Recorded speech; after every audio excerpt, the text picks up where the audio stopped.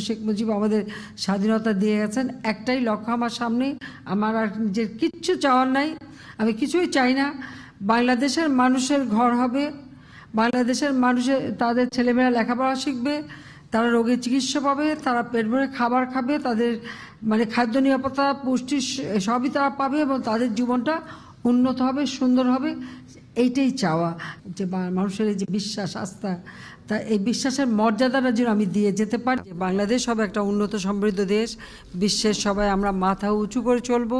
এই যে দায়িত্বটা পেলাম, সকলেরই সহযোগিতা কামনা করি।